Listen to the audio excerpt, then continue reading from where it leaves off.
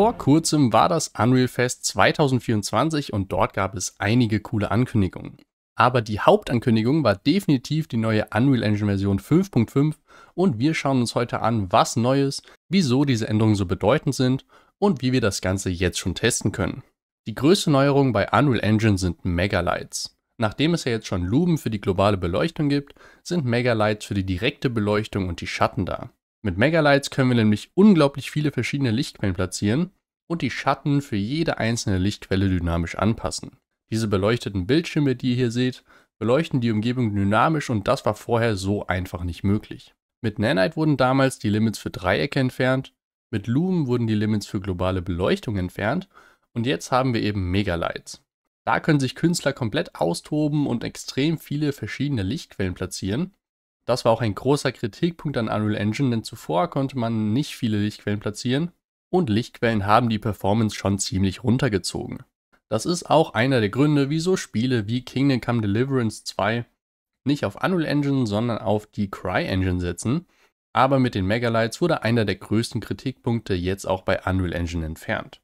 Die Assets, die ihr hier sehen könnt, die stammen unter anderem von den Quixel Megascans und die werden bald auch in dem neuen Asset Shop Fab verfügbar sein. Darüber habe ich auch schon ein Video gemacht, das könnt ihr euch oben rechts angucken. Und hier kommen wir jetzt zu einer sehr spannenden Szene, denn allein in diesem Bild gibt es über 1000 Lichtquellen, die alle auch noch Schatten werfen.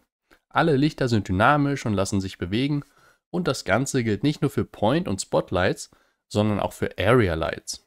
Jetzt könnte man vielleicht denken, dass diese Tech-Demo vielleicht auf einem 10.000 Euro NASA-PC laufen muss und dass das niemals auf irgendwelchen Standard-PCs laufen könnte. Aber was ihr hier seht, das läuft live auf einer PlayStation 5. Und das ist wirklich beeindruckend, denn so viele Lichtquellen auf einer PS5 laufen zu lassen, ist schon nicht schlecht. What you've seen here is running live on a PlayStation 5. Dann gab es noch ein paar Updates zu der neuen Motion Matching Technologie, die Epic Games vor ein paar Monaten angekündigt hat.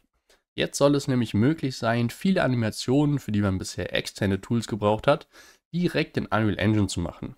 Zum Beispiel können wir jetzt die Form hinzufügen, um Sachen zu verändern. Und eine weitere Verbesserung ist, dass Charaktere sich jetzt besser anpassen lassen, um verschiedene Probleme mit Haaren und Kleidung zu beheben. Mit dem neuen Plugin von Epic Games kann man dann zum Beispiel Haare automatisch ausblenden, wenn der Charakter einen Helm aufsetzt, oder verhindern, dass T-Shirts durch die Jacke klippen. Das war vorher nur mit relativ hohem Aufwand möglich und jetzt gibt es eben dieses Plugin von Epic Games, wo man das mit einem Klick machen kann. Man kann jetzt außerdem Machine Learning nutzen, um die Charaktere realistischer wirken zu lassen.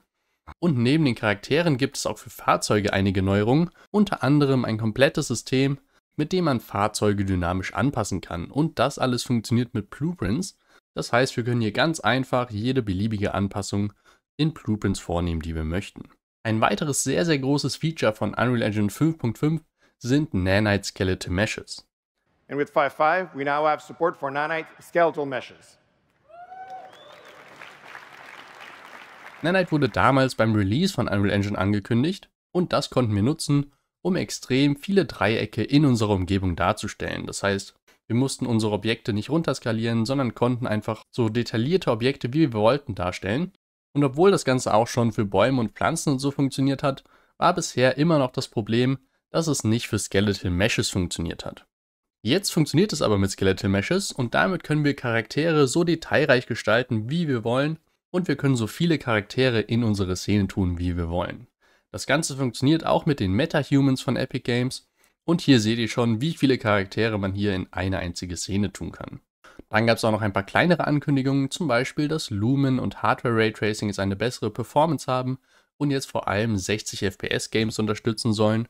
Es gibt auch einen neuen Denoiser, der Rauschen aus dem Bild entfernen kann. Außerdem wurden die Chaos Physics verbessert und haben jetzt einen besseren Debugger, um Probleme zu finden. Es gab ein paar Meta-Sound-Verbesserungen, unter anderem bei der Performance. Und weil Epic Games jetzt auch wieder auf Mobilgeräten verfügbar ist, gibt es da auch ein paar Verbesserungen. Zum Beispiel gibt es ein Preview für verschiedene Mobilgeräte, um zu sehen, wie das Spiel auf dem jeweiligen Gerät läuft. Testen könnt ihr Unreal Engine 5.5 im Epic Game Store, da ist es als Preview verfügbar. Hier ein kleiner Disclaimer, Sachen, die als Preview verfügbar sind, solltet ihr nicht in Production nutzen, also nicht in irgendwelchen fertigen Games, die ihr auf Steam veröffentlicht, aber zum Testen könnt ihr das auf jeden Fall gerne benutzen. Wenn ihr mehr Videos zu dem Thema sehen wollt, dann lasst gerne ein Like und Abo da und wir sehen uns in der nächsten Folge.